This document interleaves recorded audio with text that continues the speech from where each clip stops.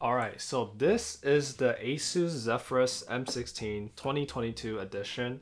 And the particular model that I have here is the base model from last year, which is the i7 12700H with the RTX 3060.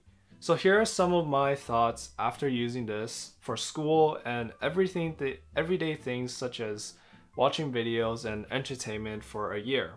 Now, the laptop has actually held up quite nicely over the past year, but the main problem I have with this laptop isn't the performance, isn't the build quality, but the material that they use on the interior of the keyboard.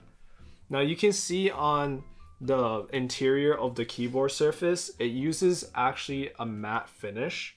And that matte finish is very prone to scratches especially if you can see near the speaker grills, I've got quite a few of damages that can't be undone, as well as in the corners, there are actually quite a bit of damage and just it tears up the corners whenever I throw it in the bag daily and when I hit it onto the table by accident. And so yeah, with this laptop, you do have to be kind of careful.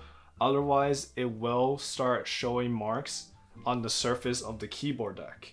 Now besides that, the top finish of this keyboard, the screen here, the B screen here, is actually a lot better than I anticipated because the M16 comes with a bunch of holes at the top for aesthetic reasons and for the rainbow kind of effect.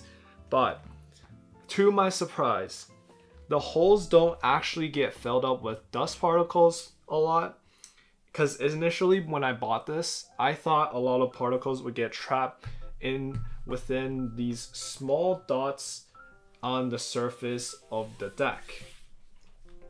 Now for the vents, the vents actually also held up quite nicely. It doesn't seem like a lot of dust built up inside, even through a few gaming sessions and a few studying sessions.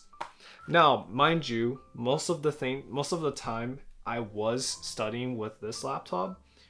And so the performance on this or the battery performance on this wasn't that surprising to me considering that it's an Intel chip based laptop, meaning it's not the most strongest when it comes to battery life. That would still belong to AMD based chips or AMD based laptops.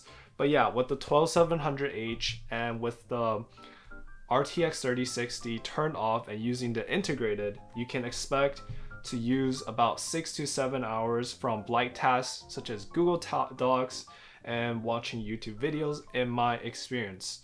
And for video editing and just casual gaming on the go on the battery, with the RTX 3060, you can expect to get around two hours, which isn't the greatest, so still plug into the wall if you really want to do that.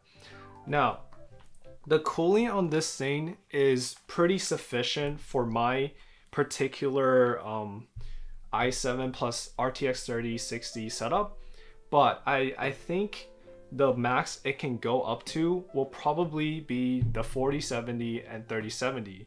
The reason why I say 4070 is because as you, some of you may know, the M16 here is basically the current new A6 Asus uh, G16 2023, which comes with the i9 13900H and the 4070.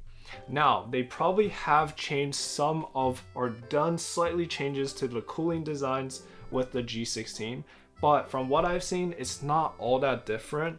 And so I think 47 it 4070 is about where you want to be at with the G16. Otherwise, it probably won't be enough to cool the thing down sufficiently.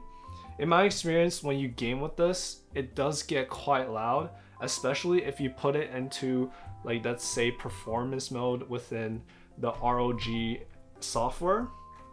On silent mode though, within classrooms, within lecture halls, in my experience, it basically keeps the fans off completely so you don't need to worry about it like being blasting and being a gaming laptop and just getting all the attention in the world on yourself.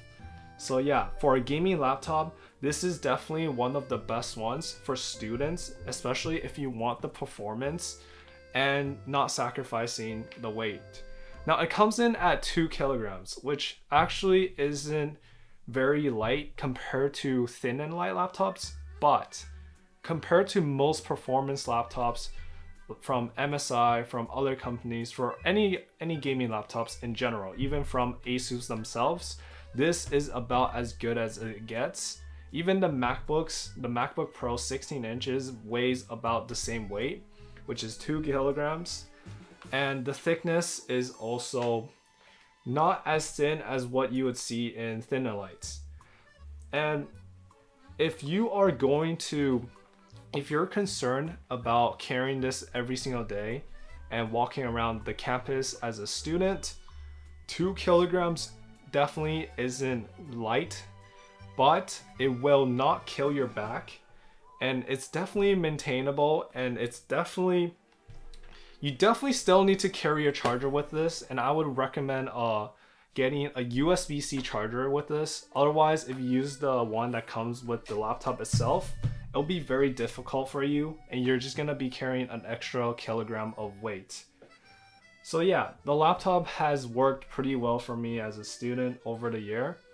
And I would recommend people buying the G16 if they're looking for something that is relatively light, something that is kind of powerful, play, can play games, and yeah, it serves all those boxes.